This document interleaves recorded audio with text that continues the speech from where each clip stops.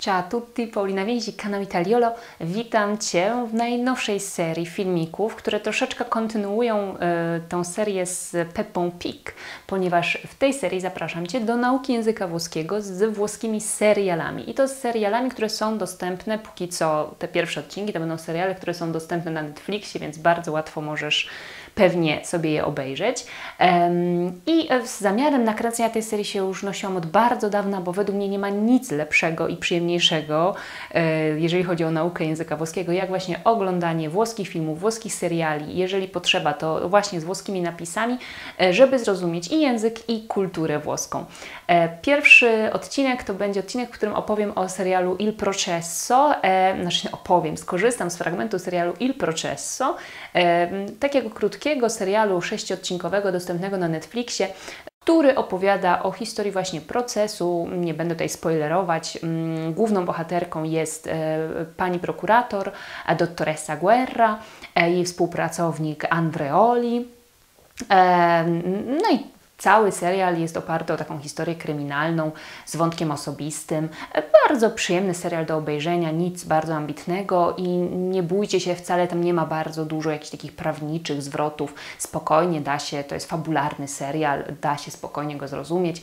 Także polecam Wam go serdecznie, zwłaszcza ym, przez wzgląd na dosyć taką przyzwoitą grę aktorską, także polecam Wam. Teraz zapraszam Was do obejrzenia krótkiego fragmentu, który y, dzisiaj posłuży nam y, do tego, by opowiedzieć co nieco o czasowniku raccomandare. Będzie ciekawie, zapraszam. Androli, ma lei dove era impiegato prima? Alla polizia ferroviaria. E come c'è finito in procura? Eh, eh, finito Vabbè dai, te lo dico? Mm. Mm? Io non gli leviamo subito sto pensiero. Io sono raccomandato. Mm. Sytuacja bardzo zabawna. Io sono raccomandato, dice Andreoli. Co to znaczy sono raccomandato? No moi drodzy, to oznacza tyle, że miał plecy i ktoś go po prostu wcisnął po znajomości do prokuratury. E, nie miał do tego ani kompetencji, ponieważ pracował w policja e, ferroviaria, czyli no, w policji kolejowej, więc e, no, taki, taki dosyć mocny skok w karierze e, do prokuratury. E, no i okazuje się, że on po prostu jest so, raccomandato, sono raccomandato, stąd ta dziwna reakcja, takie skrzywienie, taki grymas koleżanki w samochodzie, pani prokurator.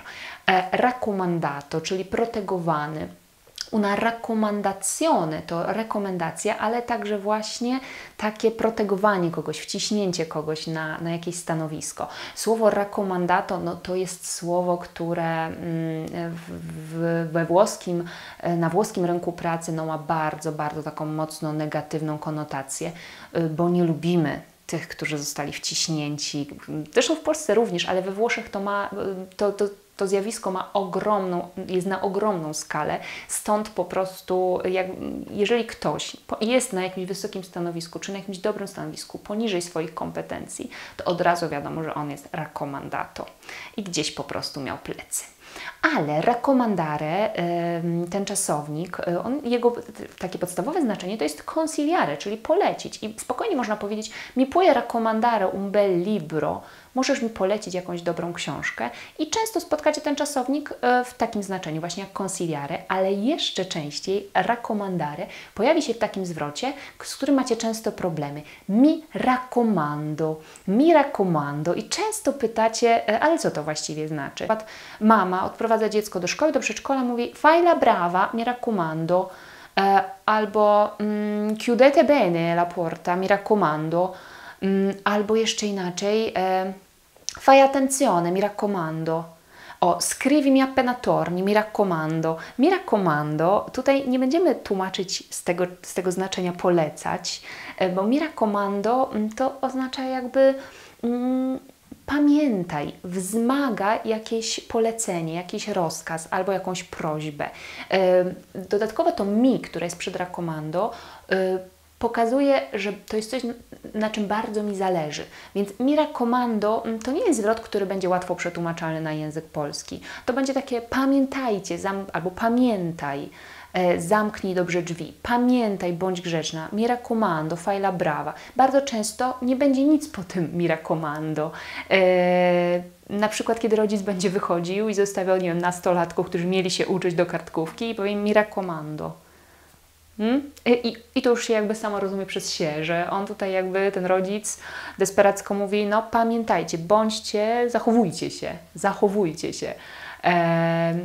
I to nie jest zwrot, który, tak jak powiedziałam, da się łatwo przetłumaczyć na język polski, a y, pojawia się w określonych sytuacjach, no i jest super używany w języku włoskim, zwróćcie na niego uwagę. E, podsumowując, sono raccomandato raccomandare jako consigliare i mi raccomando jako wzmocnienie polecenia, rozkazu, e, żeby pokazać, że zależy mi na tym, aby został wypełniony ten rozkaz, to polecenie. E, Il Processo polecam serdecznie. Przepiękna, przepiękna mantuwa, mantuła. E, przepiękne zdjęcia e, miasta, które jest takie troszeczkę mniej popularne turystycznie. Polecam 6 odcineczków po 45 minut, to sobie hopsniecie w jakiś jesienny wieczór. Dzięki za dzisiaj. Widzimy się następnym razem. Będę mówić o jakimś innym serialu i o jakichś innych wyrażeniach. Mam nadzieję, że taka forma nauki też się Wam spodobała. Poszerujcie, poudostępniajcie i zostawcie mi komentarz, bo wtedy wiem, że widzieliście i że Wam się podoba, a nie jesteście jakimiś trollami wykupionymi przez mojego męża, żeby było mi miło, że ktoś mnie ogląda. Dobra, ciao, ciao.